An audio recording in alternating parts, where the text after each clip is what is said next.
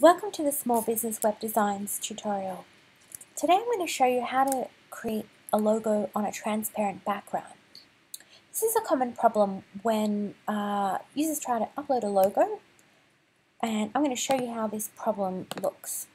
So I'm going to upload this logo here. And you'll see this is actually on a white background.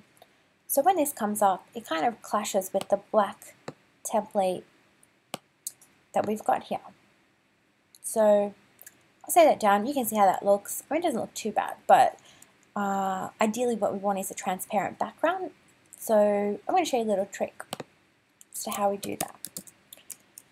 I use a website, an online editor called Pixlr. So it's pixlr.com. I'm going to scroll down here and go into the Pixlr editor.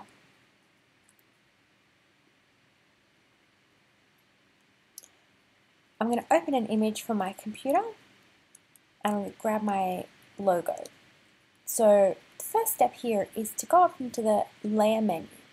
I'm going to create a new transparent layer and I'm going to drag that underneath the logo.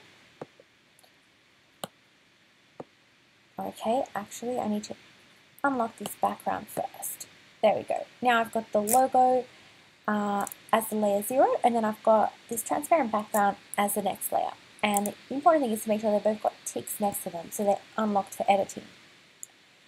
Next step here is to select this magic wand tool and then click within the white sections that you want to uh, get rid of, so you want to make transparent.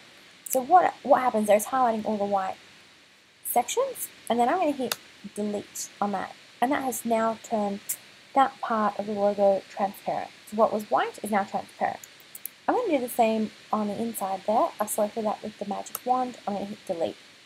So now you can see I've turned this into a transparent logo background. The next step in this is to actually save the file.